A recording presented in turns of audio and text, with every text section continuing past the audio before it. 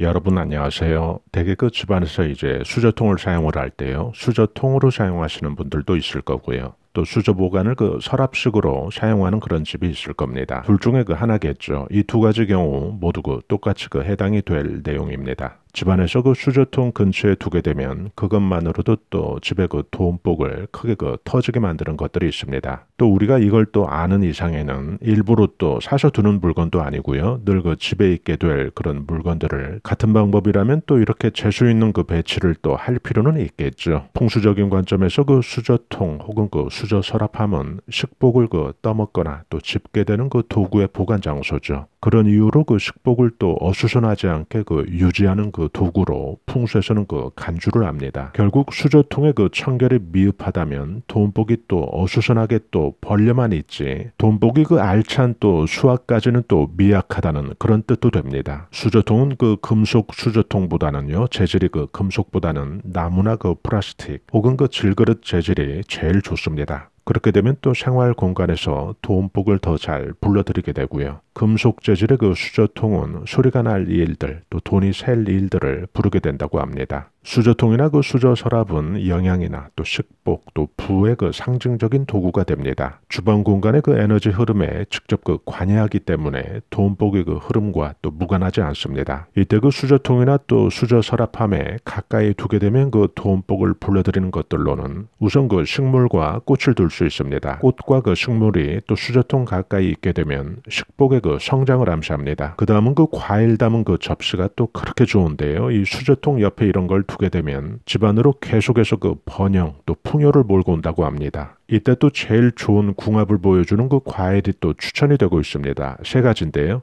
오렌지, 사과, 석류 이런 과일들이 수저통 옆에 두게 되면 그야말로 돈을 그 끌어당기는 그 돈 자석들이 된다는 것이죠. 또한 그 여러분들 집에 그 크리스탈류의 그 뭔가가 있다면 또 아주 좋은데요. 크리스탈이나 또 석영, 자수정 이런 그 보석의 암시들이 될 그 상징들이 곁에 있다면 또 그런 것들을 그 수저통이나 수저 서랍함 가까이 보관을 하게 된다면 두게 된다면 이때 그 금전운은 또 크게 그 증폭된다고 합니다. 이런 것 등은 그 진품의 그 여부는 중요 치 않습니다. 그런 그 모양 자체가 주는 그 풍수 효과니까요. 흔한 그 액세서리도 이런 그 모양을 지니고 있다면 또 사용할 수 있다는 이야기입니다.